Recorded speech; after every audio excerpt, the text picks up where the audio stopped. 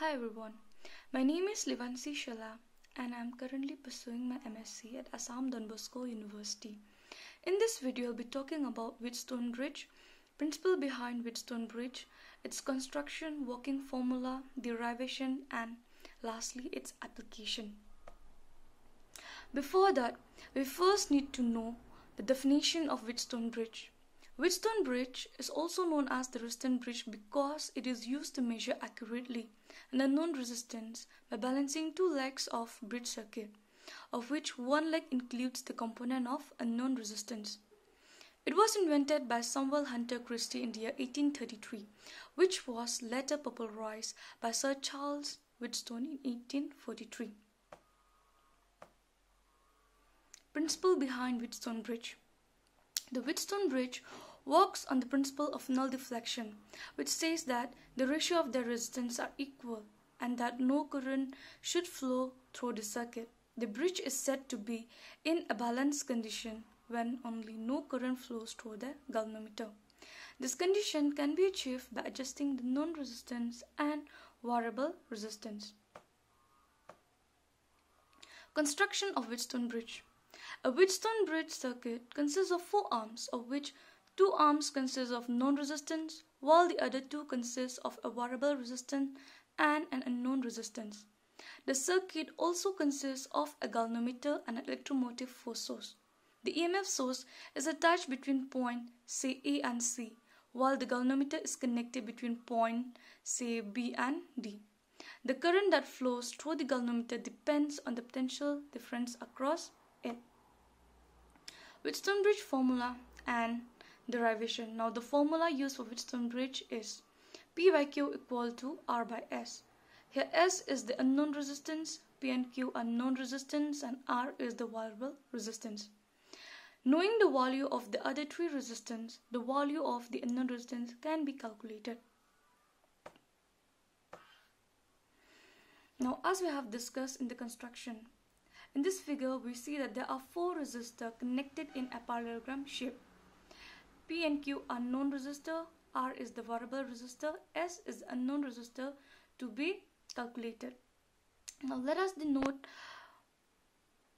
this point A, B, C and D. Now between point A and C, EMF battery and the current switch is connected between point B and D, galvanometer G and the galvanometer switch is connected. Now, when the current switch is on, the total current delivered by the battery be I. Now at junction A, the current I will be divided into two parts. I1 and I2. I1 passes through P and I2 passes through R. At junction B, the current I1 is again get divided into two parts. Some part of it will flow through Q and the other part of it will flow through the galvanometer G. Now when the galvanometer switch is on, let Ig be the current passes through G, then I1 minus Ig be the current passes through Q. At junction D, I2 and Ig add up. So I2 plus Ig is the current passes through S. Now from the figure, I2 plus Ig plus I1 minus Ig, we get I cancelling both the Ig. From here we see that the sum of incoming current is equal to the sum of outgoing current which is I. Hence Kirchhoff current law is satisfied. Now applying the loop law in loop ABDA. Applying KVL we get the loop direction as shown in the figure. Now in region EB I1 into P. Here the sign is negative because the current direction and the loop direction is same. In region BD.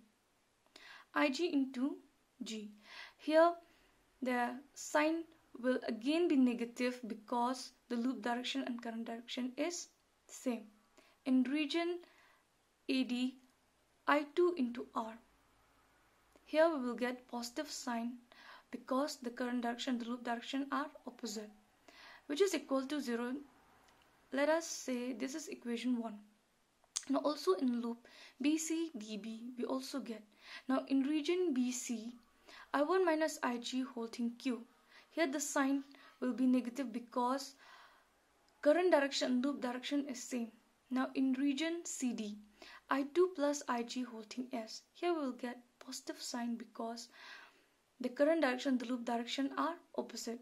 Also in region BD Ig into G here again we'll get positive sign because the current direction and the loop direction are opposite which is equal to 0 this is equation 2 now as we have seen that Wheatstone bridge follow the principle of null deflection which says that in balance condition the potential and B and D is same so there will be no current flowing between point B and D which mean Ig equal to 0 then putting Ig equal to 0 in 1 and 2 we get minus I1P plus I2R equal to 0 that is I1P equal to I2R. This is equation 3. Now similarly we see that putting Ig equal to 0 in equation 2 we get minus I1Q plus I2S equal to 0 that is I1Q equal to I to S equation 4. Now in dividing equation 3 and 4 we get P by Q equal to R by S which is the formula of Wheatstone bridge. Lastly, Wheatstone bridge application. Now the Wheatstone bridge is used for the precise measurement of low resistance.